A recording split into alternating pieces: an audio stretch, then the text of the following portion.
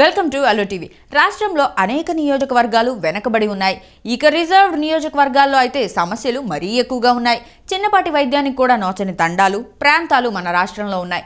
అరకు పాడేరు వంటి గిరిజన ప్రాంతాల్లో ఇప్పటికీ ఏదైనా అత్యవసర వైద్యం అవసరమైతే డోలీలు కట్టుకొని మరీ ఏరియా ఆసుపత్రులకు తీసుకొస్తున్న పరిస్థితి కనిపిస్తుంది. ముఖ్యంగా గర్భిణులకు సరైన సమయానికి వైద్యం అందక మరణాలు సంభవిస్తున్న పరిస్థితి కూడా ఉంది. ఇది ఒక్కటే కాదు అనేక ప్రాంతాల్లో కనీస మౌలిక సదుపాయాలు కూడా లేవు. రోడ్లు విద్యుత్ వంటివి కనిపించడం లేదు. ఇలా అనేక నియోజకవర్గాల్లో పరిస్థితి ఇలా ఉంది. కానీ ఏపీ ప్రభుత్వానికి ఇవేవి కనిపించడం లేదని అంటున్నారు.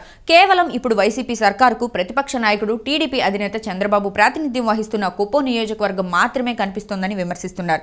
ఎందుకంటే గత కొన్నాళ్ళుగా ఇక్కడే వైసీపీ దృష్టి పెట్టింది. వైసీపీ అధికారంలోకి వచ్చిన వెంటనే కుప్పంను మినీ మున్సిపాలిటీ చేసింది. ఇది మంచిదే కానీ తమ ప్రాంతాన్ని మున్సిపాలిటీ చేయాలని కోరుతున్న అనేక ప్రాంతాలను మాత్రం వదిలేయడం గమనార్హం. ఇక కుప్పం మున్సిపల్ ఎన్నికల్లో బలప్రయోగం చేసి వైసీపీ ఇక్కడ పాగా వేసిందని టీడీపీ నేతల విమర్శలు ఎలా ఉన్నాయి? ఇప్పుడు సీఎం జగన్ స్వయంగా కుప్పంలో పర్యటించనున్నారు. చంద్రబాబు నియోజకవర్గంలో జగన్ పర్యటించడం ఇదే తొలిసారి కావడం గమనార్హం. అయితే ఆయనేమి ఉత్తుత్తి పర్యటన చేయడం లేదు. చాలా ప్లాన్తోనే పర్యటిస్తున్నారు.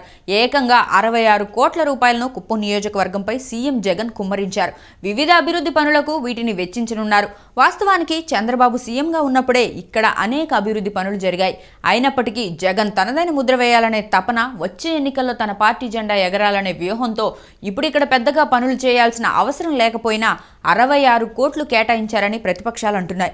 ఇదంతా కూడా వచ్చే ఎన్నికల్లో చంద్రబాబును ఓడించడమే లక్ష్యంగా చేస్తున్నారని ప్రజలు ప్రజలపై ప్రేమతో కాదని వారు ఆక్షేపిస్తున్నారు. నిజమైన అవసరం ఉన్న నియోజకవర్గాలు చిత్తూరులోనే చాలా ఉన్నాయని అయితే వాటిని ఏమాత్రం పట్టించుకోకుండా కుప్పంపైనే కన్నేయడం వెనుక రాజకీయ వ్యూహం తప్ప మరొకటి కాదని వ్యాఖ్యానిస్తున్నారు.